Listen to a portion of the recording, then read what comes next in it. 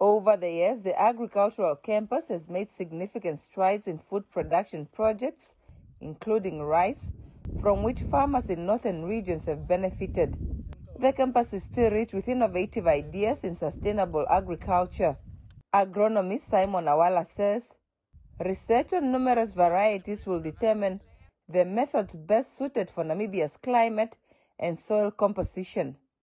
So it is uh, quite a kind of um, very good farming system that can be recommended to our farmers. So at the, at the moment we are still, as I said, it's the first experiment. We are at the first stage of this.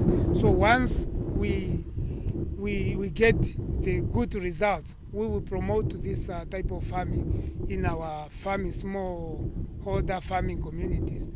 During the trial research period, students will undergo training as extension officers, learning to disseminate the new technologies among farming communities. Kawesa Vekama is one such student taking part in research on rice and aquaculture production.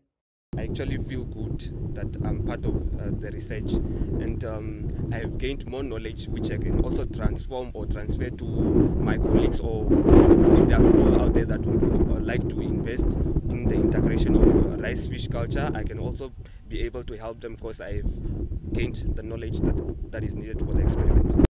The campus annually seeks to discover innovative ways to increase livestock and crop yields, as well as improve farmland productivity and overall food quality.